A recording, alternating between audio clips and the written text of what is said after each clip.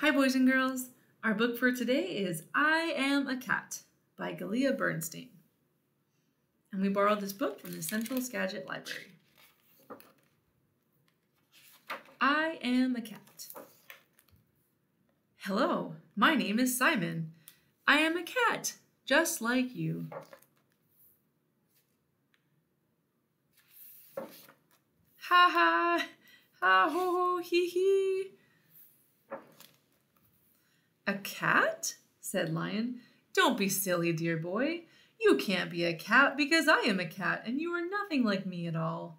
Cats have a mane and a tuft at the end of their tails, and when they roar, everybody trembles, for they are the kings of all the beasts.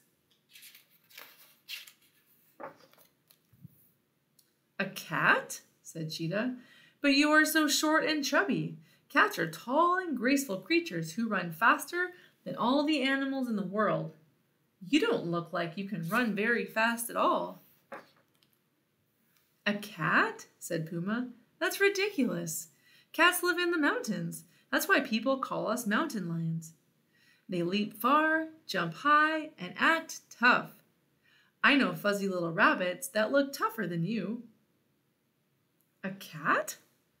Cats are black, said Panther. They live in jungles and rainforests and sleep in trees. Have you ever even seen a jungle? A cat? said Tiger. That's very funny.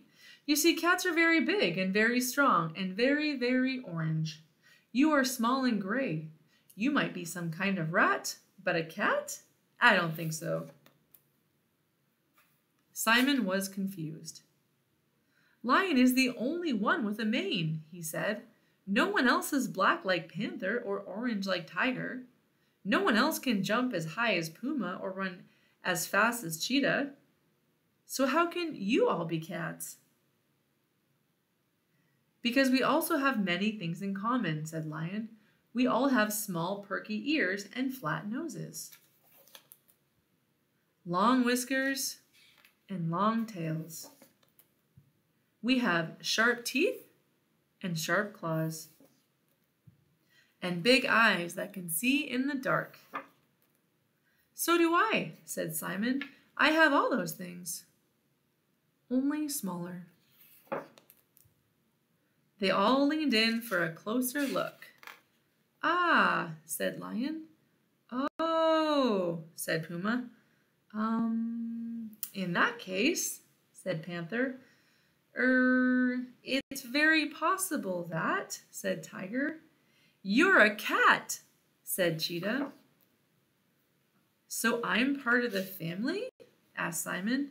The big cats looked at one another. Yes, they all said together. And they spent the rest of the day pouncing and prowling, prancing and playing, like cats of all sizes do.